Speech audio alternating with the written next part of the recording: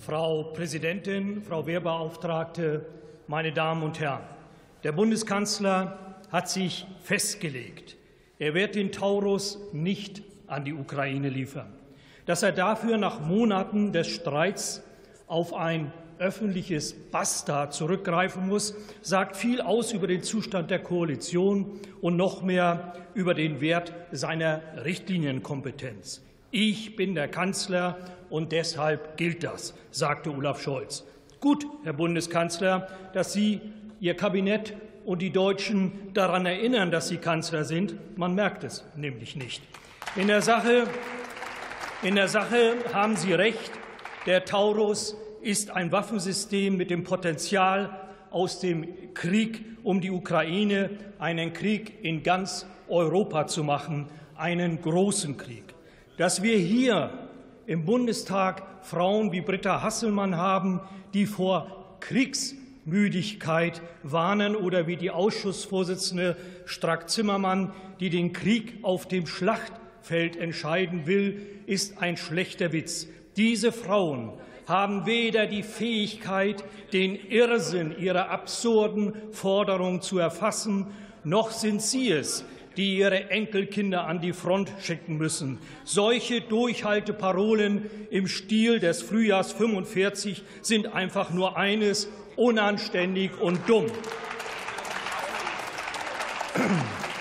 Meine, meine Damen und Herren, vor drei Wochen haben sich der Inspekteur der Luftwaffe und drei seiner Offiziere abhören lassen. Vier Tage davor wiederholte Verteidigungsminister Pistorius noch sein Mantra der Kriegstüchtigkeit. Die Bevölkerung solle sich mit der Gefahrenlage auseinandersetzen. Das ist sie. Diese riesige Lücke zwischen Anspruch und Wirklichkeit immer in der Ampelkoalition.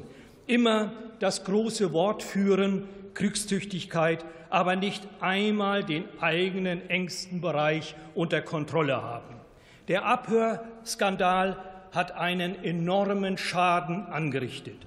Der Inspekteur der Luftwaffe plaudert mal soeben deutsche Staatsgeheimnisse aus, Anzahl der einsatzbereiten Taurus, plaudert mal soeben Staatsgeheimnisse anderer Nationen aus, verdeckter Einsatz amerikanischer Militärberater in der Ukraine, plaudert dann munter weiter, wie deutsche Soldaten verdeckt den Einsatz des Taurus unterstützen könnte und alles in einem Ton, als ob es sich um irgendein Spiel handeln würde. Es ist diese Bundesregierung, die seit Antritt das große Wort von der Zeitenwende führt, sich aber nicht an die eigenen Regeln halten kann, das Rumquatschen nicht unter Kontrolle bekommt. Sie können es nicht. Und ihr, und ihr, zweiter, ihr zweiter Geheimdienst, der MAD, was macht er eigentlich? Spionageabwehr ist es ja offensichtlich nicht. Und jetzt geben Sie ernsthaft Putin die Schuld, dass Russland das geheime Gespräch abgehört hat. Ihre Vorgängerin Merkel stellte vor x Jahren schon fest, dass selbst die Amerikaner uns überwachen.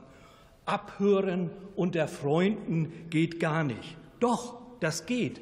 Bis heute übrigens. Und genau so hören die Russen ab und die Chinesen. Und die Aufgabe des MAD und des Verfassungsschutzes wäre es, Deutschland davor zu schützen. Aber das können die nicht, weil sie den ganzen Tag damit beschäftigt sind, die Facebook-Profile von Bürgern auszuschnüffeln. Das ist die Wahrheit.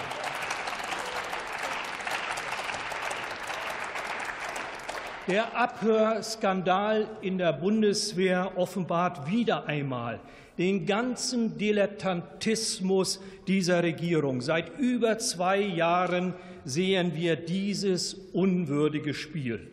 Es gibt da keine Reparaturmöglichkeiten. Diese Regierung gehört abgelöst. Richtig, richtig bleibt jedoch das erste Machtwort des Kanzlers, seit er im Amt ist. Nein zum Taurus. Bleiben Sie dabei, Herr Bundeskanzler, auch wenn Ihre Gründe dafür im Dunkeln liegen mögen. Dankeschön.